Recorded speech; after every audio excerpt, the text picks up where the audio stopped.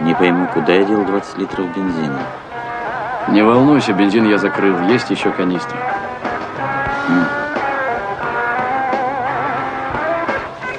Да. Что будем делать с Зайцевым и Рублевым? Что делать? Завтра поеду навещу их. Я был уверен, что они уже в городе.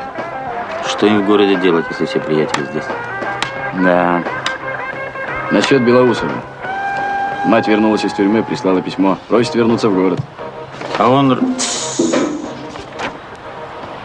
Какой фантик там шастает? Шмырев. Иди сюда. Воду наносил? Наносил. Брысь в палатку. А ты, Паша, у них свой в доску. Любому можешь сказать фантик. И ничего.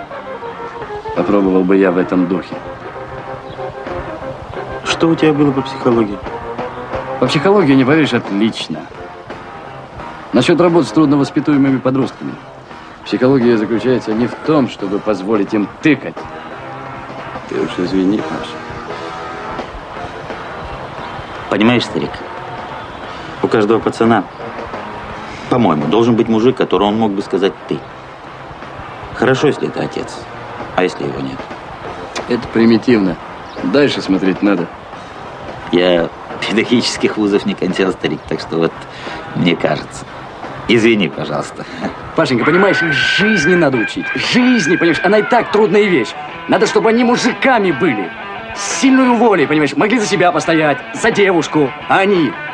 Сюсюканьем ты с ними занимаешься. Я же тебе говорил, дай мне отряд. Так ты ж мне не дал, связал по рукам. Посмотрю я, что из них получится после лагеря. Дай бог, чтобы хотя бы три из них вышли настоящими мужиками. Твоя ошибка, Олег, в том, что ты их все время учишь, а их надо... Их надо любить. За что же я их любить-то должен? Ой, не люби ты, господи. Для начала, не прячь шмотки в сейф. Останусь голым. Давай, Олег, лучше подумаем, что полезного мы сделали в этот день. Ой, надоело.